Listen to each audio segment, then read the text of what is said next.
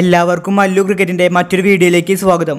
ഈ വർഷം തിരക്കേറിയ മത്സരക്രമമായതിനാൽ ഏഷ്യ കപ്പ് ക്രിക്കറ്റ് ടൂർണമെന്റിൽ ഇന്ത്യ അയക്കുക രണ്ടാം നിര ടീമിനെയാവുമെന്ന് റിപ്പോർട്ട്.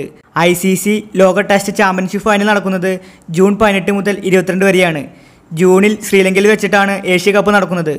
അതിനാൽ പ്രമുഖ താരങ്ങളെല്ലാം ടെസ്റ്റ് ചാമ്പ്യൻഷിപ്പ് ഫൈനൽ കളിക്കാൻ ഇന്ത്യക്കൊപ്പം ഉണ്ടാകും ജൂണിൽ ഇംഗ്ലണ്ടിലാണ് ടെസ്റ്റ് ചാമ്പ്യൻഷിപ്പിന്റെ ഫൈനൽ നടക്കുന്നത്.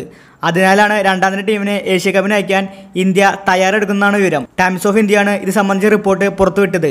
ഏഷ്യ കപ്പ് ജൂണിൽ തന്നെ നടന്നാൽ രണ്ടാം തന്നെ ടീമിനെ അയക്കുകയല്ലാതെ ഇന്ത്യയ്ക്ക് മറ്റു വഴികളില്ല.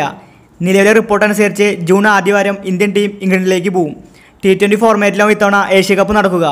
ഏഷ്യ കപ്പ് മാറ്റിവെച്ചാലും നിലവിലെ മറ്റ് പരമ്പരകൾ പ്രകാരം ഇന്ത്യയ്ക്ക് ഒന്നാം നിര ടീമിനെ ശ്രീലങ്കയിലേക്ക് അയക്കാനാവില്ല.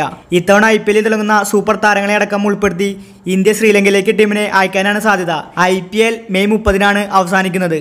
അതിനുശേഷം ഒരാഴ്ചത്തെ വിശ്രമമാണ് ഇന്ത്യയിൽ താരങ്ങൾക്ക് ലഭിക്കുമെന്നാണ് വിവരം.